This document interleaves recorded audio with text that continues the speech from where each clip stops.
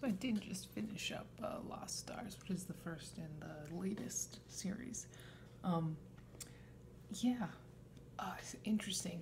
It is fun in the fact that I just don't know or care about any of these cats anymore. None of them. I'm just completely out of it. Um, so that's fun. But it's also a weird. It's an interesting sort of setup. Um, I do like Bristle Frost. She's interesting, but it's a very interesting setup. Um, and I'm not sure how it's gonna go going forward. Um, I don't know. It's vaguely interesting, but like I said, I don't really feel anything for any of these characters anymore. So that's really fun. But yeah, no, um, an interesting concept with the broken code and stuff like that. Uh, there was something that reminded me of something but I forgot what it was because mostly it was pretty forgettable, and I'm hoping that the rest of the series um, is not that way. I don't know. I do think that I'm kind of out of it at this point when it comes to characters that I really care about because I didn't read about any of these characters as a kid, and that's why I care about the other ones. But yes, no, I did finish up book one. Next, I'm doing book two, and then I think I'm caught up. I think book three might come out this month actually because it's April 6, 2020 right now. I believe book um, 3 comes out this month, but pretty much caught up now, which is kind of fun. So I was kind of meh about the first one in the Broken Code ones. Um, this one was actually very good. I'm actually really enjoying the way that this um, series is going. Uh, the first book, I wasn't really sure how I felt about the characters. I kind of liked Bristlepaw, but now I am really enjoying this set of characters, and I am really enjoying the plot line. I think it's very interesting. I'm interested to see who the um, imposter is. I've heard rumors that it's um, Ashfur. Uh, it would be cooler if it was someone like Hawk Frost, but I don't know. Um, but no, I. Yeah, no, I was actually very impressed with this one. I know book one I felt kind of mad about. This one I'm really enjoying. Like, this is probably the first newer um, book in the series that wasn't a super edition about the older characters that I really enjoyed. Um, because I did really, really enjoy this one um yeah no it was it was a good one. It was very good. I am very excited to see where the plot goes in this. And again i do like the characters. I like bristle frost a lot. I think she's a very interesting character. Shadow sight's getting better. Um and uh he's cute. He's fun. But no i'm very very excited to see where this goes um because i think this plot has the potential to go some really interesting places. I don't, I'm wondering if this is going to be the last series, given that these are still making money. I'm guessing not. I know they want to end it after like number four or something like that, but no, I'm excited to see where it goes next. Um, and I am liking where it is right now, and I'm, yeah, no, it's a fun time. Very pleasantly surprised with this one. Good time. So I just finished up of Shadows and oh my god. Okay, so the whole mystery of who Bramblestar, Dana Bramblestar's body, it's actually very interesting because I'm trying to figure out who who it is and um Ashfur makes the most logical sense with the whole squirrel flight angle, but the hunters seem to be really uh, trying to go for the angle that Ashfur did nothing wrong, and so I don't know if they'd make him a villain. Hawkfrost makes sense with the blue eyes. That's another Ashfur thing. Um, Hawkfrost makes sense with the blue eyes, but not really the squirrel flight angle or the lazy angle because he was always pretty ambitious. When I think of lazy and blue eyes, I think of goose feather, but that doesn't make sense with the squirrel flight angle. angle. So I'm not sure. Um, I am. I'm not sure. I'm at the end, the, at the very end of the book. Squirrelflight goes, I know who it is. I'm like, oh, uh, yeah, of course you do. And of course you're not telling us until book four, which I have pre-ordered, by the way. Now I'm pre-ordering these. So I think it's pretty safe to say that I'm enjoying these quite a bit again. Ah, because, holy shit. Um, yeah, a Berry Nose fucking died. Berry Nose? You can't kill... I think Mouse Whisker is the only one living out of that set now. And I think that's just because uh, he... Um, he's so boring that nobody ever thinks about him. Um, give let Thornclaw rest. Um, Thornclaw needs to be able to go to the Elder's Den. He's the same age as Brightheart, and uh, and um, he's older than Cloudtail, uh, and he needs to the same age as he's Brackenfur and and uh, Brightheart's sibling. So let him let him rest. Let him go in the Elder's Den. But they they won't do that. Um, but no, interesting. I'm I'm liking Bristle Frost as well. I don't know what's up Misty Star's ass. Maybe she just wants to die because she's been alive for so long. but her, she was just like, geez, like honestly, I don't like Leaf Star. I'm liking, I'm liking Leaf Star a lot, and Tiger Star, man.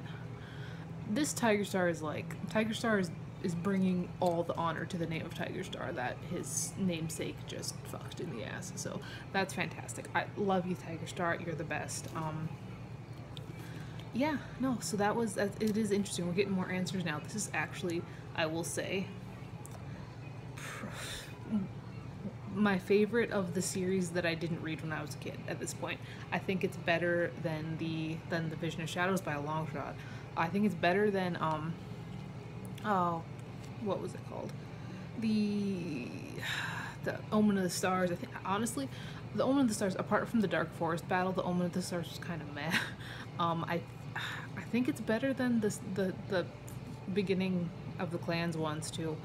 It's honestly, I'm really enjoying it. So I'm excited. I'm actually I'm gonna say I'm actually excited for book four to come out, which is amazing. This is a series that is for children, and I've been reading since I was 10, so that's fantastic. Like, not 8. It's, it's fan- loved this one. It was fantastic. So, I just finished up Darkness Within, which is book uh, 4 in the Broken Code series. And we've got some interesting shit going on here. Okay, so it's Ashfur. Uh, like everybody was kind of guessing, the guy in Bramblestar is Ashfur. I don't know how I feel about it. I mean, I don't know how I feel about them making Ashfur out to be this fucking mega villain that he's turning into. Like in Graystripes Vow, they kind of retconned his personality a little bit to make him more of a douche canoe. When really in the original series, he wasn't that bad until like Squirrelflight rejected him. You know, like he was not. Like he was fine. You know, he was just Cloud's brother, and he was he was okay. He wasn't bad, but now he's this super mega villain that is just like, oh, I'm so mad because this girl reject like it's it's it's stupid. Um, it's it's fucking stupid, and I just I don't buy him as that much of a villain. Like he's a he's just a douchebag. You know, he's not an evil like mastermind. You know, he's no Hawkfrost. He, I, I I would have been I would I wish it was Hawkfrost. I know I didn't he die. I think Hawkfrost died in the Dark Forest battle, so I guess it can't be Hawkfrost. Um, but I wish it was something more like that than it was because Ashfur doesn't make any fucking sense. Maybe it's because they killed off all the other villains in the Dark Forest battle, but so we've got a lot of weird lore here when it comes to the deaths. Okay, so we still can't reach StarClan. Um, we brought the sisters back.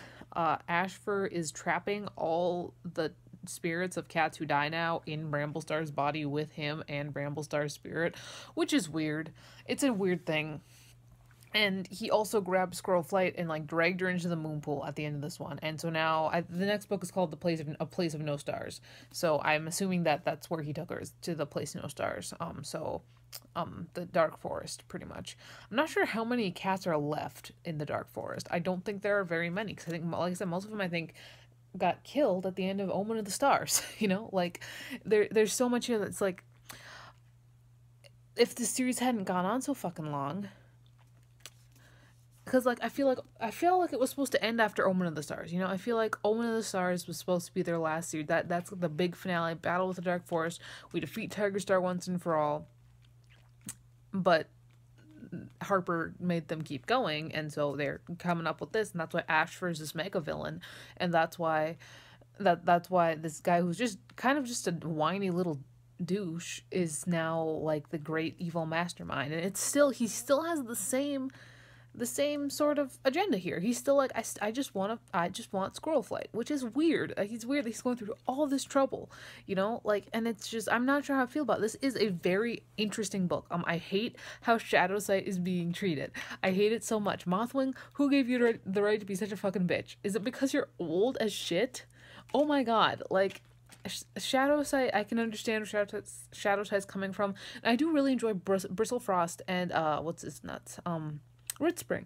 R- Bristle Bristlefrost and Rootspring are I really like how their kind of forbidden love is being treated because they have crushes on each other, but they have both looked in themselves and realized that their clan means more to them and that's really interesting and i hope that holds through the rest of the series i hope that i hope that they don't get together unless they end up changing the code which would be interesting because it's like reading the dawn of the clan stuff and you're seeing how the code got formed and then we switch to this one and it's kind of breaking down and it is weird like i, I was kind of expecting to see some of the wanderers come back at the end of this book Like at least like Thornclaw or something like that. Like I know Graystripe has fucked all the way off to to to the old forest, but like at least you know like like Thornclaw or like something like that. But no, like none of them came back. I guess we gotta wait for the next book. Um, so I'm not wonder. I'm wondering also why Thornclaw is not a fucking elder yet. I mean, like his brother, is, his brother and his sister, Brackenfur and Brightheart are Thornclaw's like litter mates. Brightheart was one of them too, right? I'm pretty sure she was. I think yeah, because Brackenfur and Cinderpelt were made apprentices first, a little bit early, and then later it was Thornclaw and and and and Brightheart, and then they were made princes when they're supposed to, and now Thornclaw is still a fucking warrior. For some reason, like they mentioned here that he's old, but they're just like they just like he's not an elder yet. I'm like, why not? Let the man retire. like it's because he got a young wife, so he got rejuvenated inside. I don't even know. It's yeah, no, I, it was easy to see that Spotfur was pregnant. That was kind of obvious from the beginning. Um, interesting note here. Did mention that Daisy wasn't in camp because she was off helping Smoky have new kits. So it's interesting that Smoky's still alive. That's who Daisy lived with. Daisy's old as shit now too.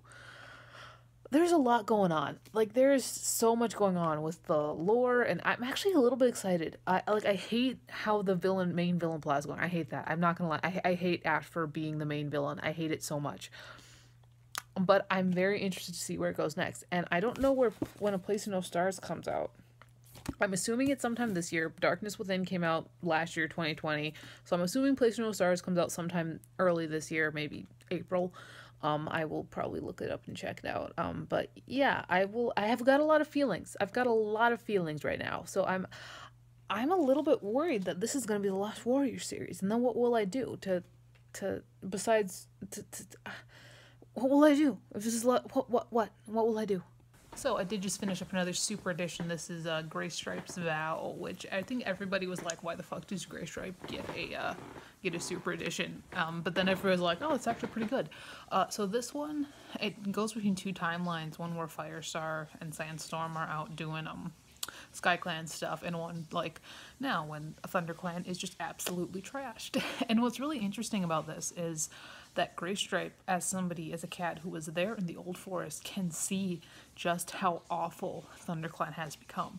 Like there is absolutely no respect, and it like Graystripe's like, what the fuck is going on here?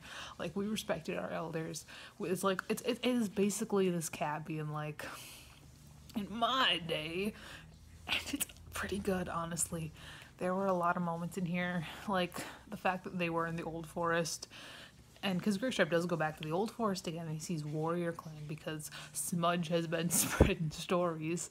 Um and it's oh man it's just there's a lot in here that did make me kind of emotional. They're living in riverclan's old territory. He goes back to the moonstone. It's did they we did see the tribe for a minute there which i don't like. Fuck, fuck the tribe i hate the tribe. I still hate the tribe. I will never not hate the tribe. Sky clan's growing on me do not like the tribe, still do not like the tribe. Please, like, stop showing us the tribe. Please. Throw up, like, give us an avalanche and kill them all, please.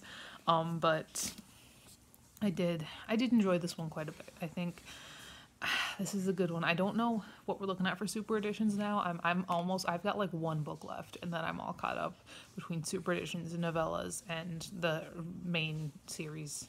Um, so there's gonna be quite a change, like not quite a change, but quite a break because I know that I've got the next novella set pre-ordered. Um, I've got one more Broken Code book.